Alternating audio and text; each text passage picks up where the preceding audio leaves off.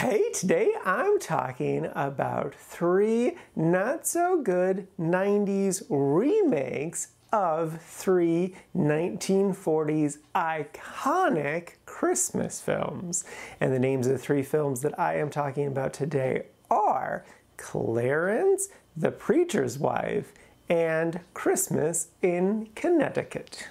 The First up is Clarence. This is a 1990, technically sequel to It's a Wonderful Life, though that doesn't really make a whole lot of sense. And really, it's kind of just a remake of The Bishop's Wife, which is what The Preacher's Wife is also a remake of. Yeah, it's all messy. Anyway, the basic premise is so you remember the angel that helped out Jimmy Stewart in It's a Wonderful Life? Well, turns out he hasn't been feeling the best since doing that really good thing 50 years ago, and he doesn't want to help anyone else because he just doesn't. And so some other angels trick him into helping this family whose dad recently passed away. It's not really a Christmas movie, which is weird. Like they do have some Christmas decorations around, but like it's football season. That's a whole plot line. It's definitely a made for TV movie, and I went into it kind of being like, oh, this is gonna be really bad. But it honestly wasn't the worst. There is charm to this at times. Everything with the teenage boy was just atrocious. Not because the kid did bad, he did fine enough for a TV movie. It was just like the most stereotypical really bad dad talk to the kid and it was just terrible. And then it was so clear like how they were gonna use the son to help save the business at the end. And it was just like it took them so long to realize that. And I'm like, why are they not building towards this at all? They had a setup at the beginning and then a payoff at the end. I did like the little girl in the movie. I thought she was good and fun and interesting, but she just kind of disappeared in the second half of the movie. I was also just really annoyed because I feel like this would have worked better had they had zero connection to It's a Wonderful Life. Because like they also change a bunch of rules. Like they even specifically say, hey, since you last been down, we've changed some rules. And it's like,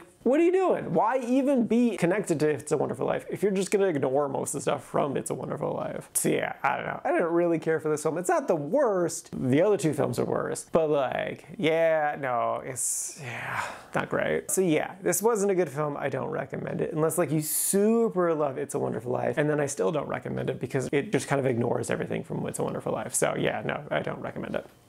Next up is the Preacher's Wife. This is a 1992 film starring Denzel Washington and Whitney Houston. And the basic premise is this one is actually a remake of The Bishop's Wife. And I feel like I would have enjoyed this film more had I not just watched The Bishop's Wife for the first time ever and had I not really loved The Bishop's Wife. Because like they make a lot of changes, which that's fair, but I feel like they made changes for the worse. Like a big thing that I really didn't care for is the fact that they made the angel into a fish out of water story. So he's just so confused about all of these modern things like, oh, what's a computer? Oh, what is this thing? And then like he has money to pay for stuff. That's a big point in the original. He's like, I'm an angel. Why would I have money? And like, yeah, Denzel Washington is definitely charming. He's good there. But the lack of confidence is the part that just kills me. Because that was a big part of the charm from Cary Grant is that he was just confident wherever he went. And he left like a tidal wave of people just being like, oh, what's this guy up to? And they didn't have that here. And I'm like,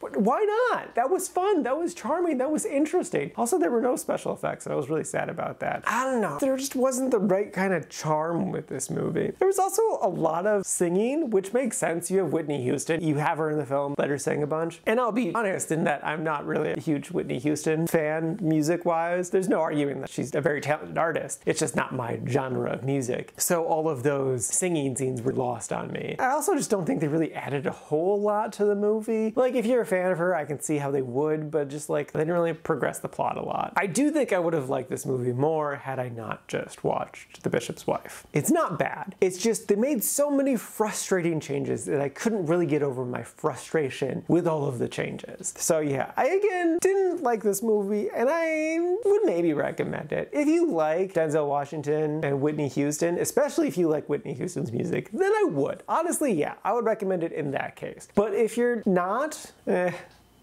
And lastly is Christmas in Connecticut. This is a 1992 film, and it is actually Arnold Schwarzenegger's one and only film that he has ever directed. And it's fine. Honestly, his direction wasn't the worst. This film just kind of has a lot of other issues. I do again think that I would have potentially liked this movie more had I not just seen the original and enjoyed the original. They didn't update it well. Like, instead of having it be a magazine columnist who's a fake cook, it's now a fake TV show where she doesn't actually cook. And in the pre-Food Network days, I definitely think this works really well because, you know, Food Network actually had real people who know how to cook and stuff. Kris Kristofferson is the male lead in this, and like, he did exactly what Schwarzenegger wanted him to do, which is to be like a big, tough, manly man man. And like, they took away a lot of his agency because like, he doesn't give a shit about any of this food stuff, like the whole setup. The premise is that this guy saves a person, and then a food TV show thing is like, hey, let's bring this national hero onto our show to boost ratings. And so they do that, but she's a big fake. And yeah, I don't know, it's whatever. There was a lot of humor too that was just like people shouting at each other. Like the main woman's assistant is just like in a constant fight with her boyfriend. And like there's a lot of plot about that. And it's just like you could easily take this out and it would be a lot better. Also, there's like a little 10 year old boy who just exists to be obnoxious. The main woman in it was good. It's just kind of like everything else around it. I'm like, I just don't care. Also, her producing partner was just so obnoxious and the worst. Yeah, no, I really didn't care for this film and I don't recommend it.